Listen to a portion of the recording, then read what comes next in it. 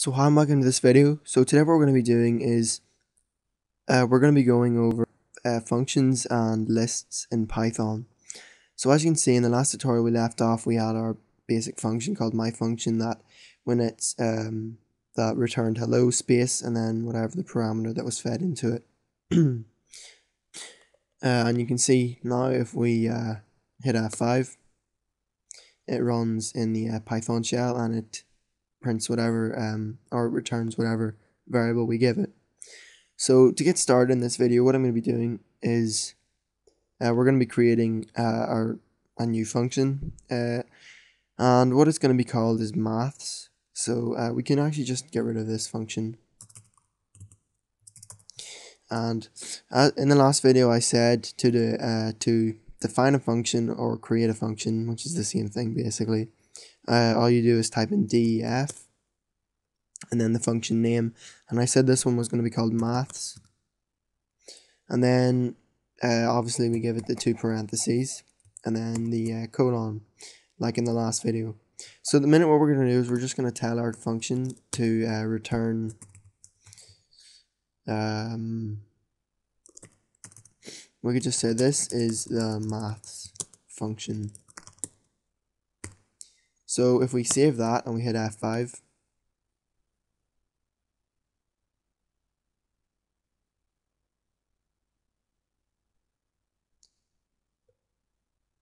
Okay, uh, yeah, we forgot to run our function.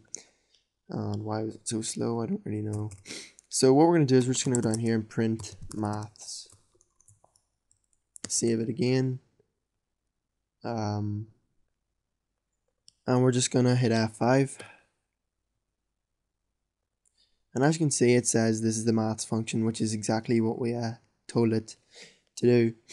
So we can leave this here, um, print maths uh, down here. And what we can what we will do is we can say um, we can give it some variables. So the first one we'll give it is num1, num2, and then uh, we could just call this one to underscore do. So notice three variables. So it'll have three parameters. And what we're going to say is um, if uh, if uh, to underscore do um, equals uh, let's say m or no a, a let's say that then uh, which is then we just go down and we do something in our if statement. And uh, I'll go over if statements more in the next video, but uh, just copy as I do in this one. So we're just going to say um, print a. And then in here, what we're going to do is we're just going to say 1, 2, and then a. So uh, a is a, a string, so it has to be surrounded in quote either double or single quotes. So now if we hit F5, so as you can see, it uh, it printed A and then it gave us none. So let's have a look. So it says it printed A, but obviously my, uh, this is caused because we didn't tell it um, an else. So we'll just say L, if, which is like the same as saying else if, L if um, print hello. So let's save that and then hit F5. Might not have been the problem, but okay, invalid syntax. So uh, I forgot. So we just do elif and then uh, print hello. Now we hit F5. Okay, so uh, obviously I forgot. You have to say elif to do. Uh, if to do doesn't equal um, a. Then we just print hello. So if we had f5 this probably wasn't the problem. So okay that uh, wasn't the problem but it doesn't matter. So what we're going to say here is elif doesn't equal a. We can change that to elif equals um, s then we can just copy this and then paste it in. Elif equals um d or no well we could do forward slash. No I'll just do d to keep it simple. And I'll explain this in a minute. And then m and then pow so uh, what this is is it's obviously a maths function so a stands for add s stands for subtract d stands for divide m stands for multiply and pow stands for power sort of like um, times by itself a certain number of times so what we're going to do is we're just going to say S and we should get hello. And says hello. So what we're going to do is we're going to say if uh, to do equals A, then we're just going to say um, return num 1 plus num 2. So now if we change this to an A, we should get 3. So if we had F5, it gives us 3, and uh, the reason we got none is actually because I told it to uh, print, and we were already using print, so we just have to say return in the function. So as you can see, it uh, gave us 3 because it added the two numbers in the uh, function. So if we change this to uh, 7, it should give us 8. So if we hit F5, it gives us 8. So now we know our function is working for add, we're going to do subtract. So we can uh, copy this, change the return to minus, or uh, change it so it minuses the numbers.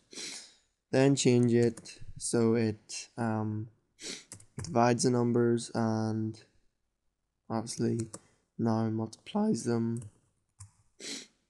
And then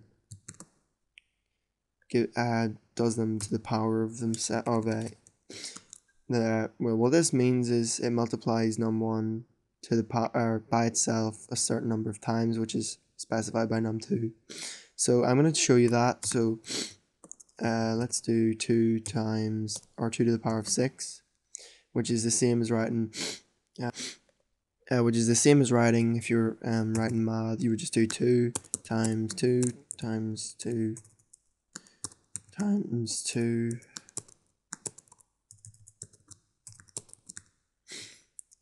um yeah that's it.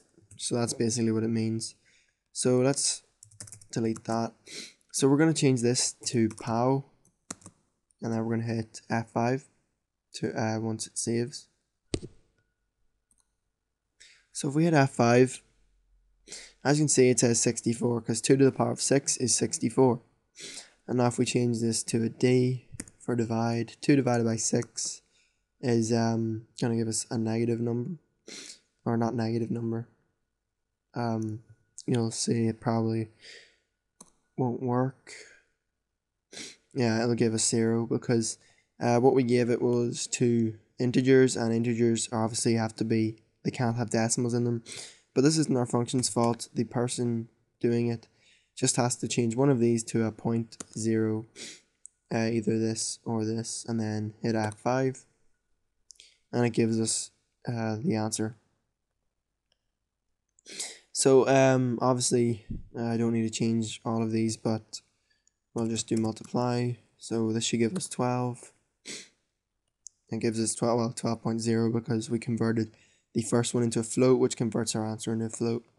So there's our uh, first function, well, second really, but it's uh, sort of useful.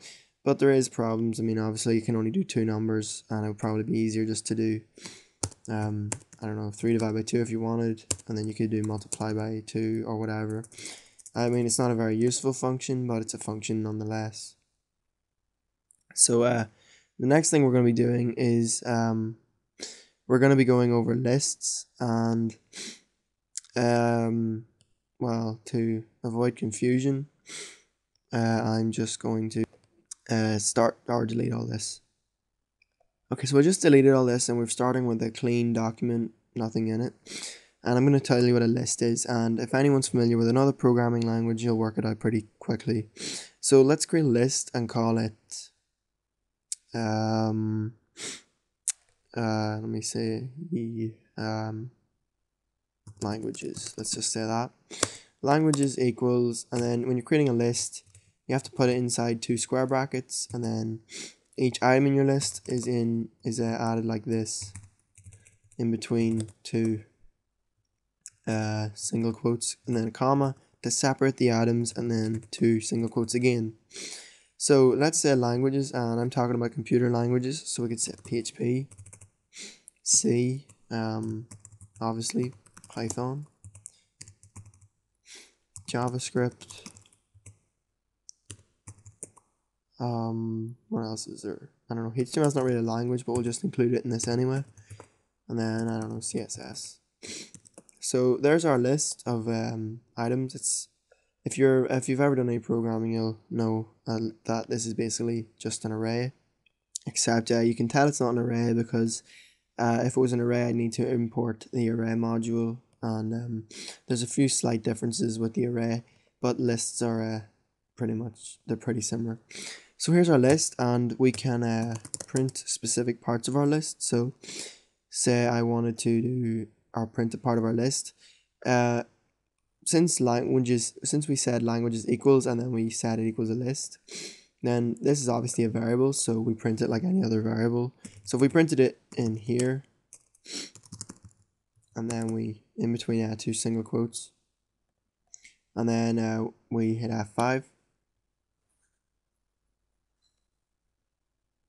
it prints us line or it prints out languages. But that's not what we want. We wanted to print an item of our list and then since it's a variable we do it like any other. So uh, since it's um, a list uh, we have to put two square brackets around what we want to print and we have to tell it which item to print. So you'll see if I hit zero or type in zero uh, you'll think well there's no zero item because one two three four five six there's six items so that's one that's two that's three etc well in computers uh, since it's computers, you'll know everything works in ones and zeros. And um, a list for computers, they'll, they'll um, think that number zero is actually this, which is number one to us. So they start at zero, so they go zero, one, two, three, four, five. So they'll think this P um whenever I tell it to output that, it'll output PHP. I hit F5, it gives us uh, PHP and if I was to output uh, even though there's six items in the list since it starts at zero this is number five. So if I output this and save it first it gives us CSS and that's basically how lists work. Um, so so uh, what, we what we can also do is we can get rid of this and we can say um, print um, Francis. Whoops. That's not a variable. So print Francis. No. Whoops.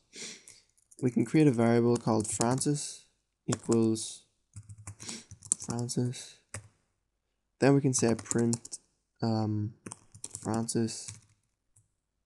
And then we can um, uh, print specific characters out of it. So as I said, this will be 0, this will be 1, this will be 2. So if I said I wanted to print character 1, it should print R. So if I hit F5, it gives me R.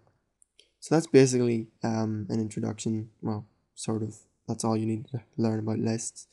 That's what they're used for, well, not, it's not actually all they're used for, I mean, they can be used for other things, but that's just some examples, and that's some examples of functions. So uh, I hope you enjoyed this video. Don't forget to like, favorite, and subscribe. And um, subscribe to the show if you liked it. And I'll see you next time.